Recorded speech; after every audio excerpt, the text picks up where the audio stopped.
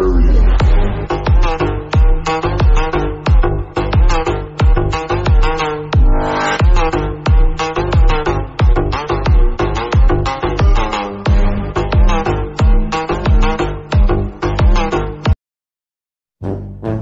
बेटे ओ बेटा मौज कर दे इस सज्जन को क्या तकलीफ है भाई